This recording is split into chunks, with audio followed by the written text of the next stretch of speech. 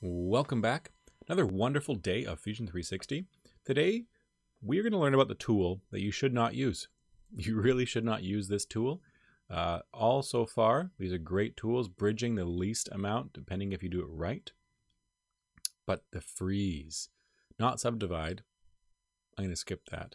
The freeze. The freeze tool is terrible, absolutely terrible. It should only be used in absolute circumstances when you are stuck, and that's a freezing joke. I can hear the laughter from miles away. So, freezing is very simply it stops a panel or an edge or a point from moving or being stretched or pulled or anything at all. It stops it entirely. It freezes it where it is, which means everything else has to compensate. And what I, what do I mean by compensate is watch this. If I want this panel to freeze and I select freeze, actually let's make this one just to be really clear about it. This one, if I don't want to move this one anymore, I freeze it. Well, all of a sudden, this turns white, the edge, but these ones are a light blue. Now, why is that? Because it needs a zone of play area, a, um, a buffer, you can call it. This buffer keeps this one from moving. Because if you, you remember from the very second video of this series where I transformed, if I take this and I stretch it out, it's going to pull these two and these ones, all adjacent parts. They're all being stretched with it. Not as much, they're averaging, but they're being stretched with it. Now, if I take this and I hit the edit form, nothing happens. Take this, nothing happens. So freezing you have to actually add a buffer and expect a buffer too. Which means if I unfreeze and I add, let's say I add an edge from here to here,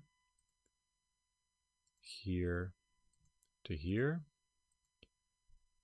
Now I have a bit more of a buffer.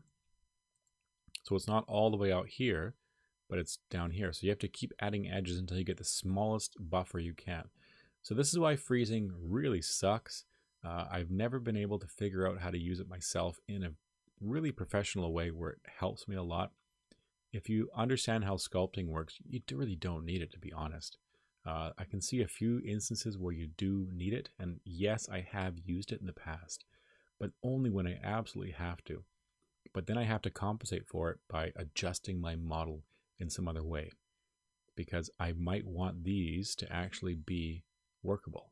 Now, here's a big, big hint. If you want this to stay where it is, select it, add a crease. It's not as pretty, it's not as nice looking.